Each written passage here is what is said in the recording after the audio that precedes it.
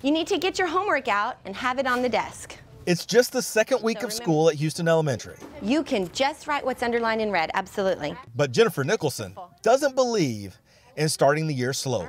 Yes, on the sixth day of school, I have already taught PEMDAS, parentheses, exponents, multiplication, division, addition, subtraction.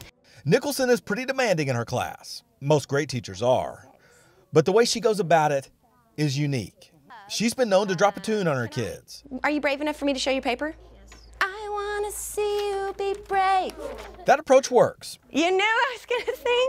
Okay. even for kids that have moved on to the wider halls of middle school. She was just like, like the bright, shining star. And so, you know, she made me happy when I went into her class. If I was having a bad day or if I was struggling with something, you know, I've had problems with, you know, maybe whenever you grow up, you might have like little problems with either your parents or, you know, how you're living or anything. And every time I went in there, she would always, you know, make me forget about that. And, you know, I would focus on the math and know it. It's just, she was, like I said, always there for me. I was going through a rough time when school started, and she just made me feel like everything was going to be okay and that sh- there's that side of her and the teacher side of her, and both of them are amazing. It's heartwarming.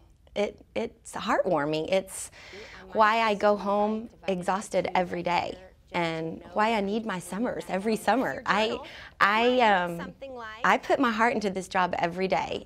That consistency is why Nicholson can ask so much of her kids and why she gets so much back.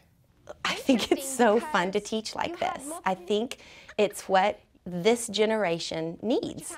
And in my 10th year, I teach differently than I did my first year. It, it's constantly evolving depending on what the kids need. Is it easy? No. it is not, but it's worth it to me. It's worth it.